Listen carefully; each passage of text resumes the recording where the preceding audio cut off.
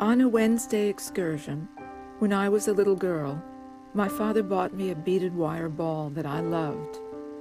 Its hinged wires traced the same pattern of intersecting circles that I had seen on the globe in my schoolroom the thin black lines of latitude and longitude.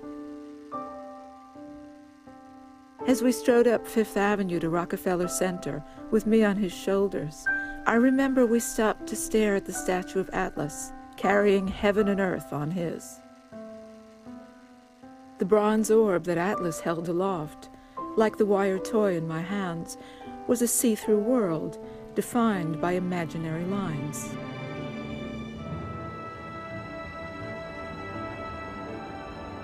Even as a child, I could recognize, in the graph paper grid imposed on the globe, a powerful symbol of all the real lands and waters on the planet. Lines of latitude and longitude remain fixed as the world changes beneath them, with national boundaries repeatedly redrawn by war or peace.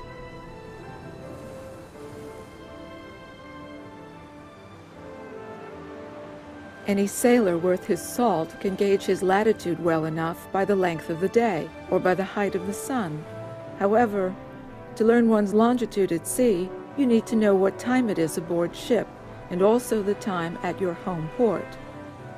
Every four-minute difference between the two times indicates one degree east or west of longitude. This information so easily accessible today from any pair of cheap wristwatches, was utterly unattainable during most of human history.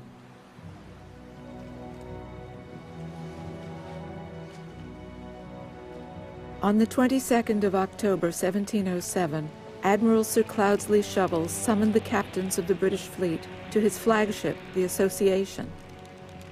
That morning he had ordered the execution of an able seaman. The navigation of His Majesty's ships is the sole concern of His Majesty's officers.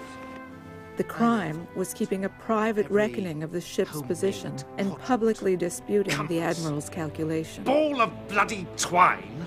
Every damned instrument in the possession of any seaman on any ship under my command confiscated.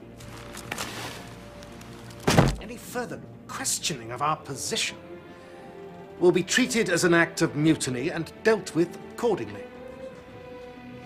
That clear? Now, by my reckoning, we are here, 30 miles off the coast of Brittany. Gentlemen, what are your figures? 30 miles to Romney, sir. Captain Ainsley?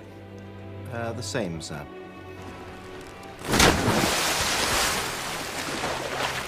And uh, where did the late able seaman Marston put us, Captain?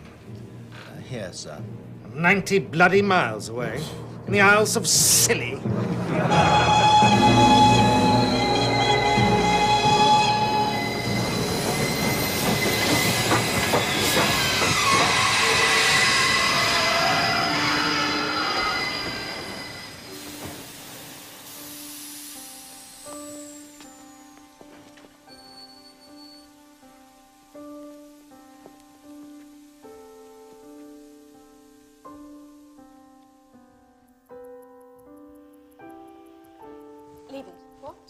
Upset if you move it.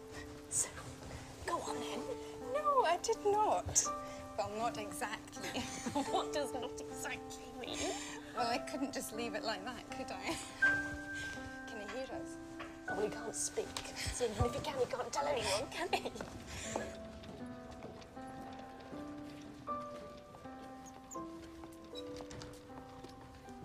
Lieutenant Gould, your reflexes are normal. There's no damage to your vocal cords. You can speak, if you choose to. For God's sake, you're not like the others out there. You're an officer in His Majesty's Navy. Four years' service, exemplary record. You're expected to set an example. Broken, I'm afraid. I keep meaning to get it fixed. Fiddly bloody things, aren't they? I think I'll stick to human beings.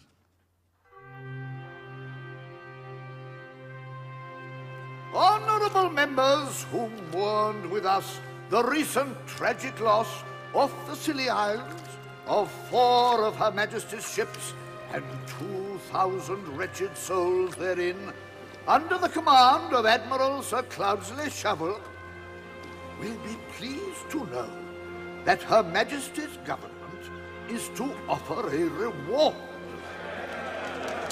A prize of £20,000 to any man offering a practicable and useful solution to the problem of finding longitude at sea.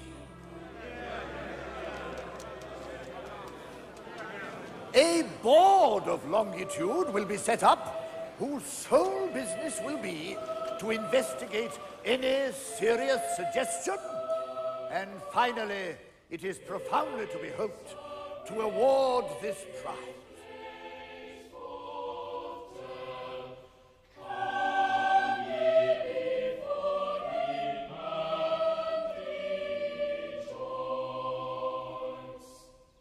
Thank you, gentlemen. Much better. I'll see you all on Sunday. William, you wait here. What do you think, Sir Charles? Extraordinary. Could you hear the difference? Mr. Harrison. Does it matter? The sound is beautiful. Uh, could you spare me a moment, sir? Of course. I mean, it's not just beautiful, it's divine. That's where the beauty lies. Each note on the scale is calculated by a mathematical formula based on the circumference of a circle, you see. Uh, almost. The step between each note is composed of larger and lesser intervals, each derived from pi. It is divine because for the first time we are listening to music as the Lord intended.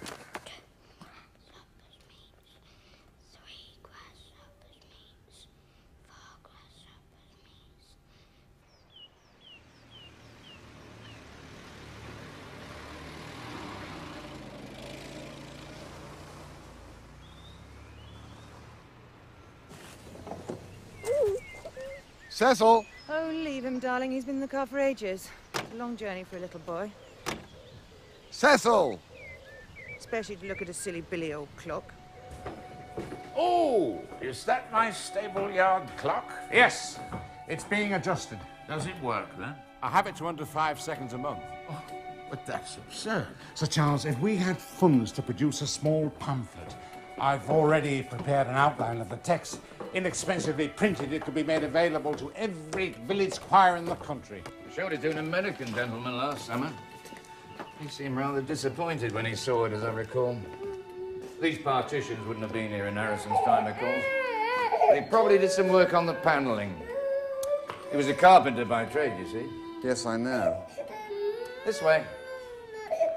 How can you tell if a clock is running five seconds faster or slower? my own pendulum clock is adjusted to one second a month. Oh, no clock could be that accurate. Mine can. John? What's he doing? Good day, Mrs. Harrison. Charles? So Charles was asking about the choir. Where's William? Oh dear. Look how it just touches the wheel, hardly using any energy. It's named after an insect, a grasshopper escapement. It's funny. It's 200 years old, built before Nelson was born. And can you see what it's made of? Wheels. Wood. It's made of wood. Darling, we're going to be late and Jocelyn's starving. You close that door, I'll close this one.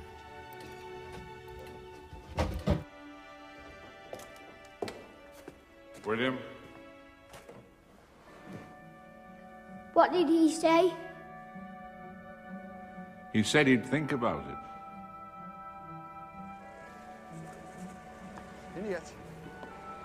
Mm. Is it accurate? Well, it wouldn't be that otherwise, would it now? No, I, I suppose not. It doesn't need oil, you see. The wooden bearing's just lubed